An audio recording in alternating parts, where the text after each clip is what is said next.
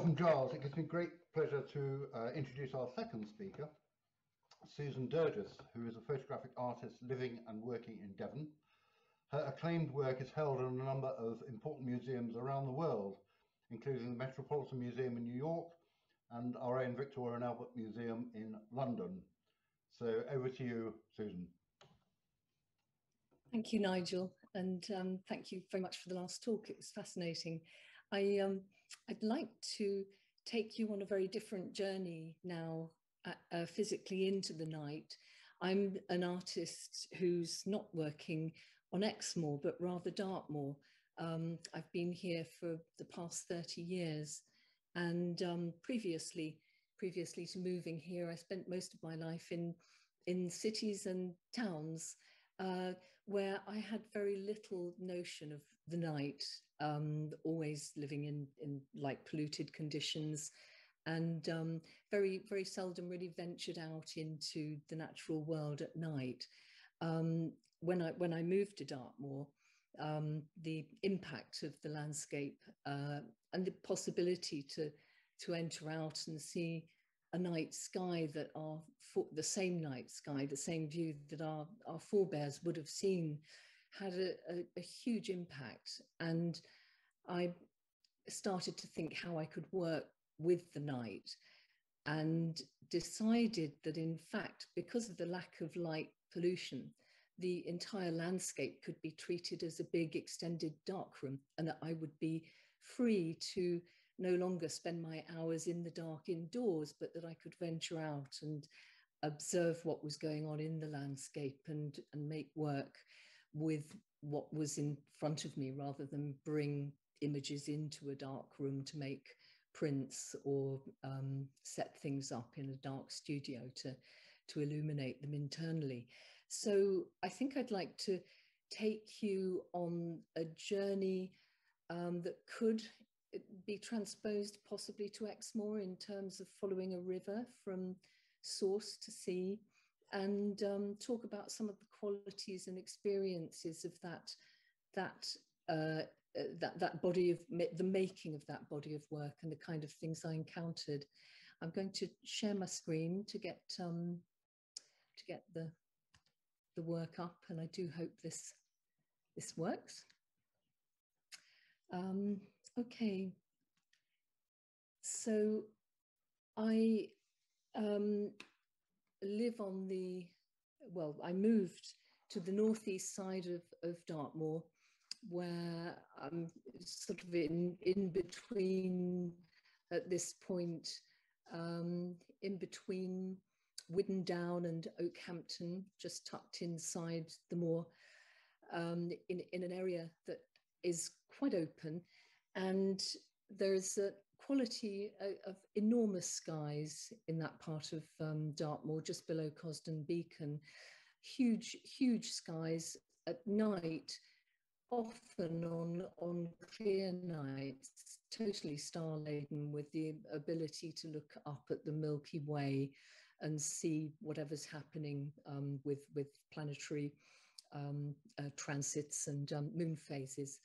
And I, uh, coming from such a different environment, the enormity of this, this landscape felt quite um, overwhelming to, to just launch into. So I decided to start to look at the minutiae below it rather than try to deal with the kind of epic quality of it. And this, this is one of the images I made in a small pond directly below my studio, where I would say one of the overriding qualities of night is stillness. Um, something happens when you leave the kind of busy world of reflected light and objects and um, bird song and um, people moving about and one's own thoughts being quite active. There's a kind of stilling and um, silencing that happens. Um, and I think other aspects of one's um, one's person wake up a kind of alertness and a much more sort of instinctual primal sense of listening out for sound, feeling things, um, temperature, air movement, um, and, um, and, and moving much more carefully um, through, through the, the, the, environment. So the, this was just a, a, a, looking down into a pool of water and um, looking at the, the mirrored um, view of the above. Um, and that's where I, I began. Uh, I, I thought that given that the landscape was a, a dark room, it would be possible then to take light sensitive paper outside. And um, I ventured down to the space I've just shown you with a very large sheet of photographic paper, black and white paper. This is about, um, must be about uh, 67 inches by 24 inches. It's about sort of physical body scale. And I ventured down to the, the pond just after some freshly laid frog spawn had appeared in, in, in, in the water and slid the paper beneath um, and just exposed it to a brief microsecond of flashlight. And to my delight, when I got it back into the studio and developed the paper, there was a tiny newt at the bottom of the um, at the bottom of the print, and the uh, spawn kind of is in in negative form, so it could also speak of the above. I felt it sort of had a cloud-like um, celestial quality to it, as well as looking at something very earthly. Um, and I decided to explore the same subject matter in a whole number of prints using color paper. Excuse me. And um, I managed to work with, for a long period of time, a, a beautiful paper made by Ilfochrome that exposes the um, image subject matter in a positive form onto positive paper. So you have true color just directly printing um, through an exposure of light onto the paper. And this is the same site with, um, with uh, all the color that would be there. The, the blue I later came to understand was moonlight. I, for a long period of time, I couldn't understand why some of my prints were being printed green or orange or, or blue. And then I started to notice that all the blue prints were happening at the time of full or very close to full moons, and that the paper lying out in the open was absorbing some of the wavelength length of the moonlight and um, becoming a kind of calendar, if you like, or a, a record of the, the moon cycles. And um, this, this went on to other ideas of, about the moon um, being very much connected to um, the cycles. And of, of, course, spawn is the kind of classic cycle of um, the beginning of the year where you, you have life sort of emerging late January um, and it, it, it, developing and echoing in a way our own human um, cycles of fertility and life and birth and death. So, in a way, um, the intention with this print was to look at something very apparently maybe insignificant um, or small, but to speak about bigger themes that um, are increasingly impressingly important to us in terms of how we value them. And we value them from the very minute um, to how they're um, operating within ourselves. Um, so I made over a period of time many photographs using um, subject matter and water and the moon. Um, I, I, would actually first of all take large format photographs of different stages of the moon and then have that in a large transparency laid over the light sensitive paper so that I could then expose directly whatever I wanted on the paper's surface, if that makes sense. Um, I owe a homage really to a Victorian photographer, Anna Atkins, who was working in the late 19th century um, on direct photographic printmaking. Um, it, she was the first person to publish botanical um, herbaria and um, anthologies of of um, flora and fauna and algae. She recorded seaweeds of Great Britain and ferns, um, many different subjects in these beautiful books, which some of you may know from a very famous book called Sun Gardens, Um, this is one of her prints, and it's a, a cyanotype where the paper's painted directly with a light sensitive photographic paper, uh, photographic um, medium, light sensitive medium onto, onto paper. And then the um, poppy heads are just exposed with um, sunlight uh, onto, onto the paper. So I, I'm very aware of this history of photography where there has been an exploration of the the pencil of nature, if you like, or the ability of nature to kind of communicate directly through light onto a medium. Obviously, the entire medium of photography does that, but um, there's something of a kind of direct, uh, visceral sense to some of this kind of imagery that I'm very attracted to. Um, I, I, began to work um, with rivers after um, after a period of um, time, and this is an early stage of the River Bovey, where I worked for some time, where the paper is immersed in the river with the hogweed and whatever's lying in the in the river, and exposed to give give an idea of the the flow and the complexity really of the environment that's creating the flow forms in the in the water. Um, this is a, a, a, print of Holly in the River Taw, and you can see the different. This is just under a, a new moon, and the previous print was under a full moon.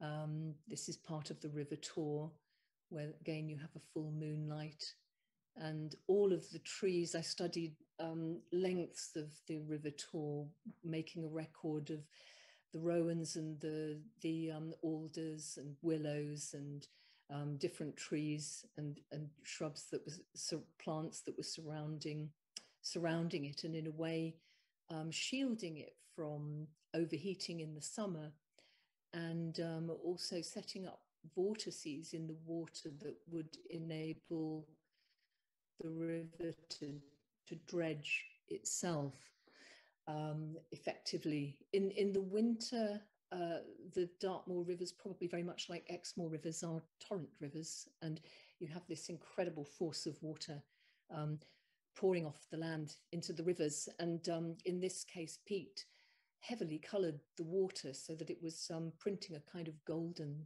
golden colour with the um, coloration of the peat in the water.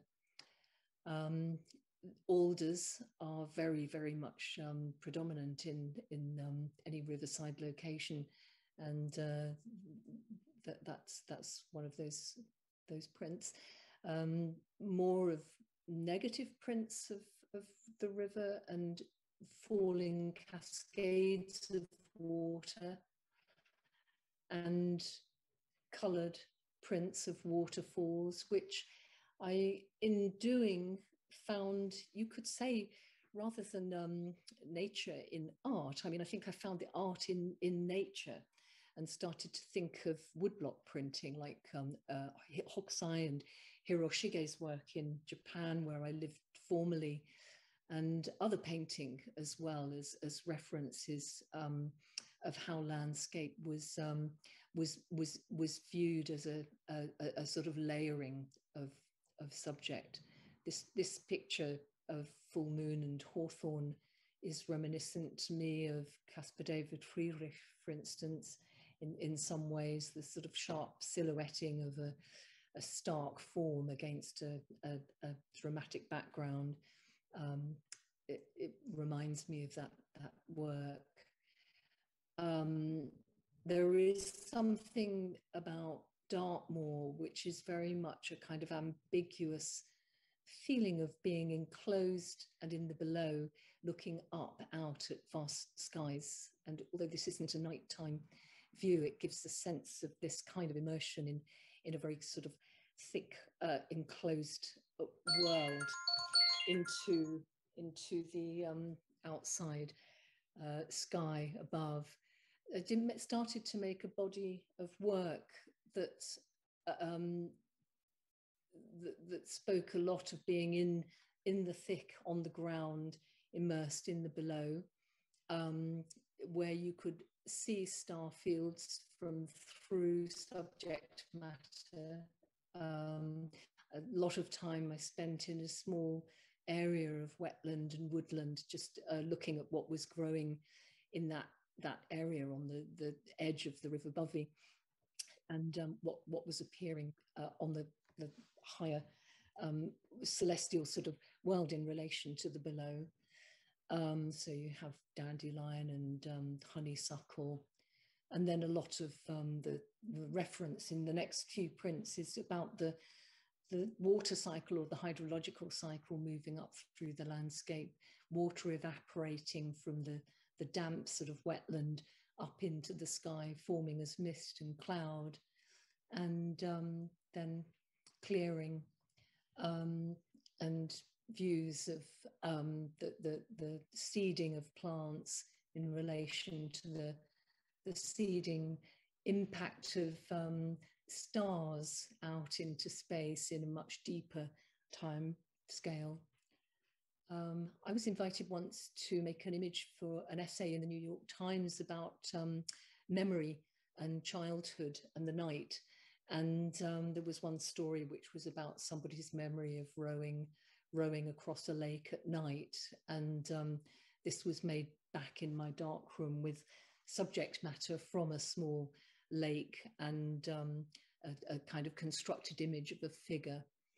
And I think um, that that really is uh, what does happen when one is um, more still and more quiet, quieted at night, that there isn't a, a, a natural kind of wakening up of the um, imagination and the unconscious starts to fuse really with what's outside. And that for an artist, I think is an incredibly interesting opportunity to, to sort of um, open up the focus to something um, about observation, but also about inner reflection and have the two things simultaneously um, coming together.